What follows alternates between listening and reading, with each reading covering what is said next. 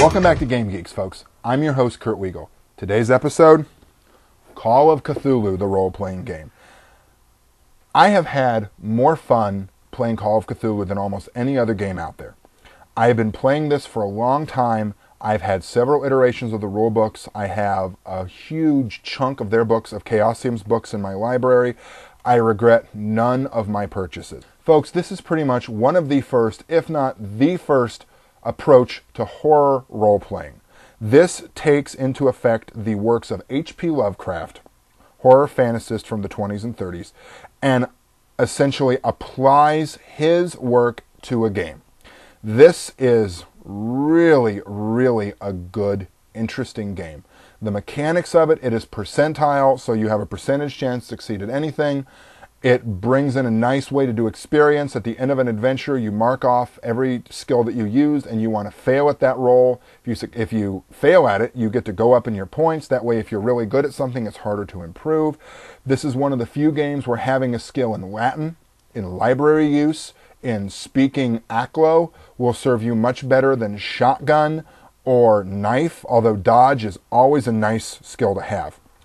The what made this different at the time was it introduced a sanity mechanic, which is as you investigate horror, as you investigate the unknown, as you investigate the creepy crawlies that go bump in the night, you start to go unhinged. There are certain things that man was not meant to know, and congratulations, you're looking right in their face. As you go down in sanity, you start to get nuttier and nuttier until eventually you become unplayable. And the character becomes the property of the game master. This defaults to a 1920 setting, which to me is a setting that really has not gotten enough attention, except in the pulp era, in terms of gaming, because it's close enough to modern day that we understand a lot about it, but there are still some differences that make it flavorful. For example, does that roadside motel have a phone? Do you have to use a telegraph? And the 1920s really deals with the issue of separation and isolation, two things that are core to understanding how horror works is you need to be alone. You can't call the cops. You have to be the one or the small group in the haunted house. Now, this version you see in front of you is actually a commemorative version. This is the 25th anniversary of the game, and what's neat about this particular version is the cover of this matches the very first box set that they put out in the 80s. The interior is well designed. The rules have been gone over with a fine tooth comb. If you don't like percentages, if you don't like this basic type of game, then you're probably not going to like this.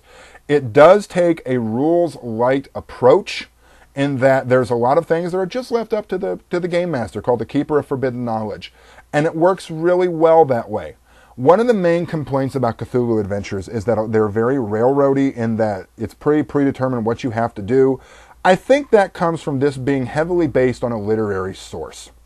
Yes, in my opinion, a lot of the adventures are very railroady. Oh, look, someone died. Oh, look, a mystery, a clue, a clue, a clue, a clue. Eek, run, spell, it's done.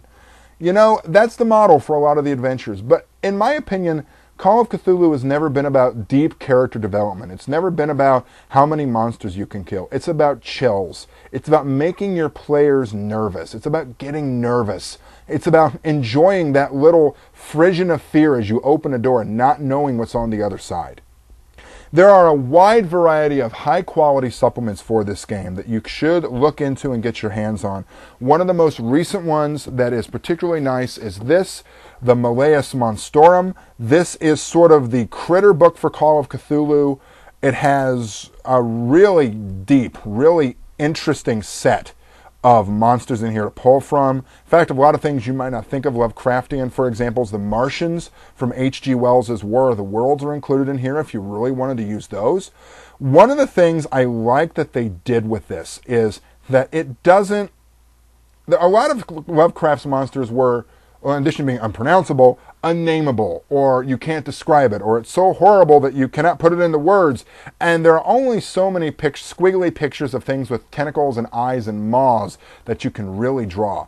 The art in this was they took existing pictures or barely photoshopped pictures, wood cuttings, historical documents, and changed them just enough where you have to look at them and go, wow, that's really bizarre. There were a couple of these I looked at and was sort of like, okay, where did they change this? Because it looks so real. It's great for giving you ideas and settings and mood for the insidiousness of the mythos and how it's everywhere in the world and everywhere you don't want to be. So, Call of Cthulhu, a very venerable game. I'm glad to see that it's getting back on its feet again. I highly recommend getting this. It is probably, in my opinion, one of the best horror games out there. It has spawned a variety of supplements, like I said, several of which we've already reviewed here. Miskatonic University, which is episode 2, Masks of Nyarlathotep, which is episode 16, and Delta Green, which is episode 11. Folks, I really have a soft spot in my heart for this game.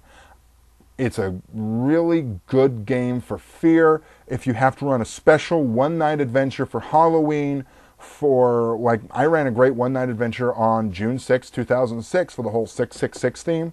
It went really well. It's really just a lot of fun. I really recommend this very highly. If you have any questions or comments, please feel free to email us at knweagle at yahoo.com. For Game Geeks, I'm your host, Kurt Wiegel. Good day and good gaming.